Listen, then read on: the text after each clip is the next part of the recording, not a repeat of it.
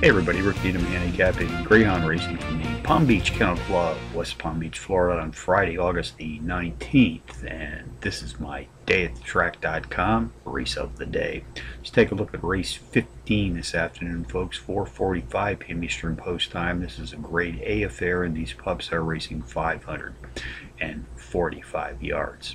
Using QuickDog software, I've isolated a power pup to put on top of my multiple entry contenders listed on this entry number six Hilco Burner. I'll make a one place and show wager. I also like to play the boxed exotics here at Palm Beach. So along with number six today, I'll be boxing number four, four Yahoo Raider, number two Ruska Rumley, and number five GMC Diane Sawyer. That's 6425 in the 15th from Palm Beach.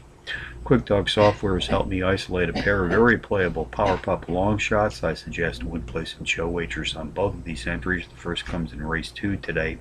Win, place, and show in a 4 to 1 shot. Number four, Pete Fanny Snickers. And in race four, win, place, and show in a 9 to 2 shot. Number one, JT's Doors.